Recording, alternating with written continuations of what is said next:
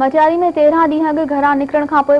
नमूने गुम थी वेल नींगर हथ अची वो तेरह ॾींहुं अग मुबैना तौर गुम थी वेल